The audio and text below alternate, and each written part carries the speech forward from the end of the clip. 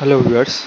In this video we will discussing about the how to create the one GUI camera with OpenCV and Python platform. You can see the some snaps uh, so you can easily capture your uh, results. So you download code from here then go to the I have already download my in folder document folder you can see it here is the our GUI base uh, simple application of the image capture. So first of all you can see the libraries OpenCV uh, TK library uh, image PIL library date time. So you can mention one camera name and uh, we are using Pyresearch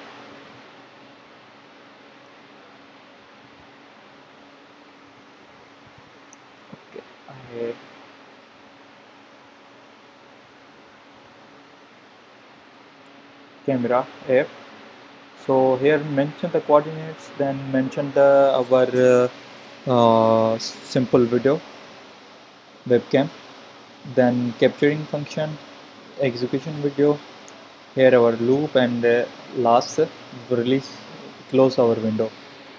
So go to our directory I am already in my directory you can see it. Then python. Here camera. Dot py. You can see the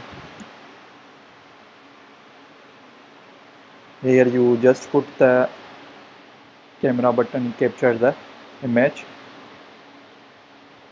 I am pressing continuously pressing my capture image button. Here our uh, cancel button.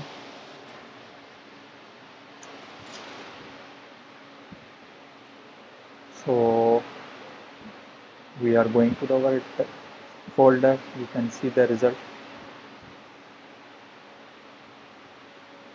Capture the image. I hope you like it. Please support our channel for more getting informational updates